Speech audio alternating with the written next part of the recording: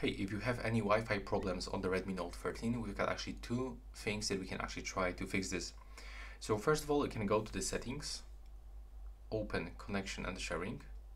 Now scroll all the way down and select this option to reset Wi-Fi.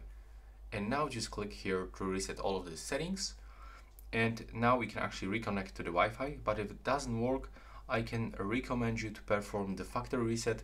So you have to go to the additional settings, go into the reset options, factory reset, and now just remove everything from your phone and bring back all of these default settings. So yeah, that's all for this video. Right now, please subscribe.